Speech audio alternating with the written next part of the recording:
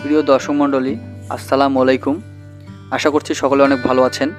Viewers, আজকে সম্পূর্ণ একটি নতুন ভিডিও আপনাদের সামনে নিয়ে আসলাম। ভিডিওটি হলো টার্মারিক পাউডার, অর্থাৎ হলুদের গুঁড়ো কীভাবে করবেন এবং হলুদের গুঁড়ো কীভাবে তৈরি করা হয়, তারই প্রসেস আজকের ভিডিওতে দেখানো হয়েছে।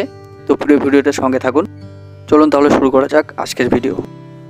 ভিউয়ার্স, আমাদের দেশে ব্যবহৃত হলুদ বা হলদি হলো হলুদ গাছের শিকড় থেকে প্রাপ্ত এক প্রকার মশলা। ভারত, বাংলাদেশ এবং পৃথিবীর বিভিন্ন দেশের রান্নায় এটি ব্যাপকভাবে ব্যবহার হয়। এটি আমাদের দেশের খুবই গুরুত্বপূর্ণ একটি ফসল। এটি আদা পরিবারের অন্তর্গত একটি গুল্ল জাতীয় উদ্ভিদ। হলুদ গাছের আদি উৎস দক্ষিণ এশিয়া। এটি সাধারণত বিশ থেকে তিরিশ ডিগ্রি সেলসিয়াস তাপমাত্রার মধ্যে জন্মে থাকে। হলুদ গাছের জন্য প্রচুর পরিমাণে বৃষ্টিপাতের প্রয়োজন হয়।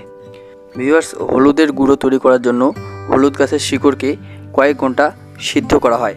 তারপর গরম চুলায় শুকানো হয়।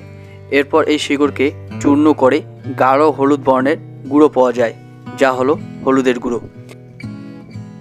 এই হলুদ গুঁড়ো দক্ষিণ এশিয়া ও মধ্যপ্রাচ্যের নানান দেশে খাদ্য প্রস্তুতে ব্যবহার করা হয়। তবে ঐতিহ্যগতভাবে এই শিকড় ভালোভাবে ধৌতকরণের পর শিল নোড়ায় জল সংযোগে বেটে নিয়ে হলুদ পেস্ট তৈরি করা হয়, যা সরাসরি রান্নায় ব্যবহার করা হয়।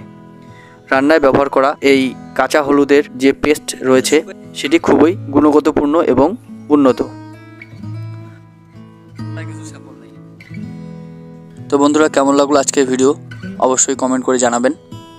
এবং ভিডিওটি ভালো লাগলে সাবস্ক্রাইব করে পাশে থাকবেন। তো বন্ধুরা, এই ছিল আজকের ভিডিও। পরবর্তী একটি নতুন ভিডিও দেখার আমন্ত্রণ জানিয়ে আজকের এই ভিডিও এখানেই শেষ করছি। সকলে ভালো থাকবেন, সুস্থ থাকবেন। ধন্যবাদ সবাইকে।